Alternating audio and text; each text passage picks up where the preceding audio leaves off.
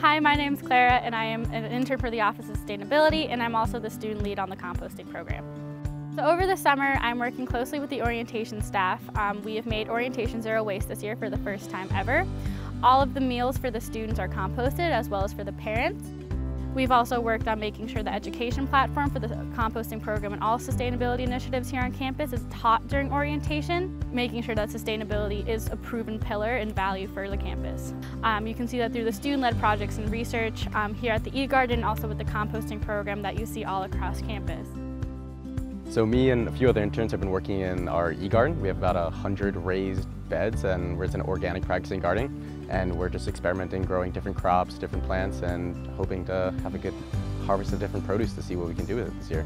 This year is the first year we're going to be selling produce at the Geneseo Farmers Market up on Center Street and some of the other produce we're going to be giving to CAS so they can incorporate into the meals they provide to people on campus throughout orientation, throughout the school year and just throughout the summer.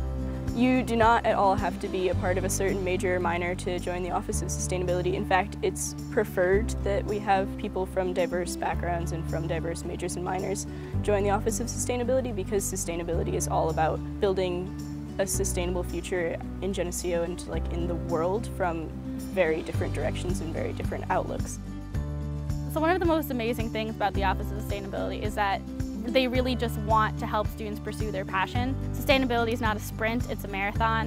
Um, and you really got to work hard and take your time to make sure it all happens. And I have the opportunity, I have the time, and I have the resources to make a change, so why wouldn't I make a change and make my world a little bit greener?